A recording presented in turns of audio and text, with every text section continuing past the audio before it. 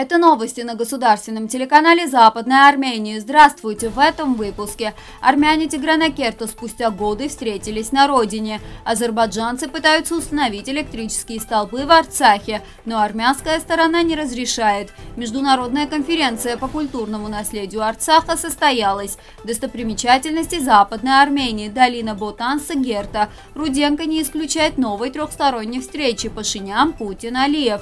Во французском городе Монпелье открылся парк имени Армении. Раскопки продолжаются в Харпуте, Западная Армения. Армянская церковь святого Киракоса в Тигранакерте, Западная Армения, была вновь открыта 7 лет спустя при участии тигранакертских армян, изгнанных с родины. Некоторые из них, проведшие детство и юность в Тигранакерте, впервые приехали в родной город через 50, а кто-то и через 25 лет. Однако дома, в которых они родились и выросли, стерты с лица земли. Открытие церкви стало радостью и счастьем для собравшихся в одном месте армян. Армяне, собравшиеся в церкви святого Киракоса облегчили тоску по былым временам. Азербайджанцы не установили электрические столбы в селах Арцаха. Они будут установлены в окрестностях сел. Об этом Ларагир.м сообщил глава общины Андроник Чавушян. Мы также договорились с ответственными органами, что с учетом конфликта эти столбы должны быть расположены за пределами сел. Наше предложение прошло. Они пытались разместить их где-то в селе, но мы отказались, сказал Чавушян. По его словам, трехстороннее заявление от 9 ноября предусматривает строительство новой дороги дороги, проведение электричества и другие вопросы. Российские миротворцы говорят, что выполняют свою работу, более того, считают, что мы нарушаем договоренность. Теперь люди видят это и говорят, азербайджанцы строят дорогу. Если наши люди не строят, они должны строить, они работают день и ночь. Почему наши люди не строят? Эта дорога идет в обход нашего села, но это ничего не меняет, мы и дальше будем здесь жить, сказал глава общины.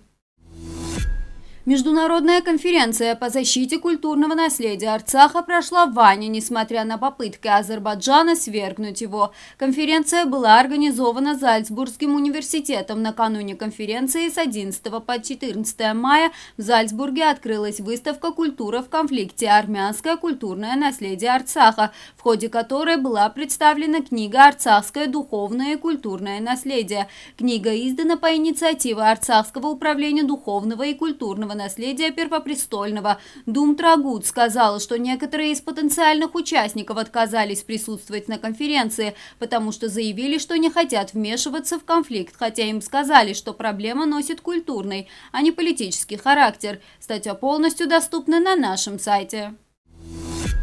Пещера Ташбаш в Западной Армении и рядом с ней на вершине Батанского ущелья находится скала Далекий Таш. Известно, что пещера когда-то служила убежищем. Проходы из двух частей пещеры проходят изнутри. Рядом с пещерой находится большая скала, которую в народе называют летающим камнем. Камень назван так, потому что молодые люди, приходящие сюда, прыгают с одного камня на другой. Пещера смотрит на реку Бота с высоты 350 метров. Дорогие соотечественники, соотечественники, это достопримечательность нашей Родины, Западной Армении, также может стать одним из мест вашего посещения и удовольствия. Заместитель министра иностранных дел России Андрей Руденко не исключает возможность новой трехсторонней встречи лидеров Армении, России и Азербайджана. Как сообщает Арменпресс, об этом Руденко сказал в интервью ТАСС. «Мы продолжаем системную работу на всех уровнях для реализации трехсторонних договоренностей, достигнутых на высшем уровне 9 ноября 2020 года, 11 января 2021 года и 26 ноября 2021 года. Мы не исключаем возможности личной личной встречи в случае необходимости.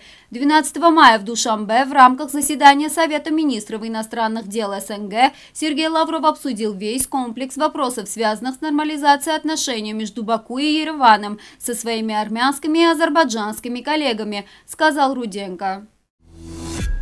Во французском городе Монпелье состоялась торжественная церемония открытия армянского парка. Об этом мы узнали из фейсбук-страницы посольства Армении во Франции. Большой парк, примыкающий к Монпелье, был назван в честь Армении. На открытие парка выступили мэр Микаэл де Лафос и посол Армении во Франции Асмик Томаджан. С речами выступили почетный основатель президент Армянской ассоциации Монпелье, профессор университета Пол Варери Жерар Даян. Выступление Выступления сопровождались культурной программой, в ходе которой прозвучали стихи Ерища Чаренца, песни Шарла Азнавура и ряда других армянских авторов.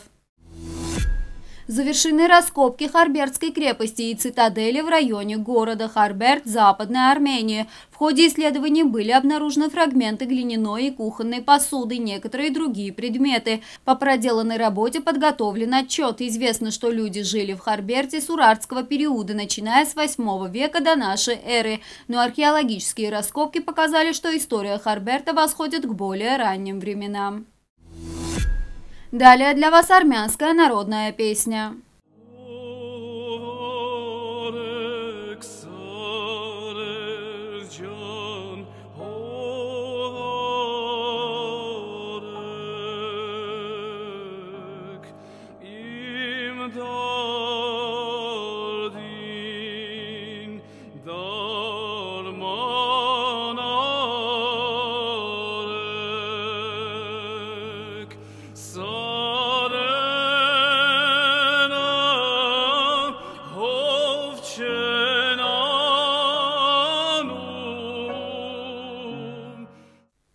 Полная версия доступна на официальном YouTube-канале Западной Армении. На этом я с вами прощаюсь. Оставайтесь с миром.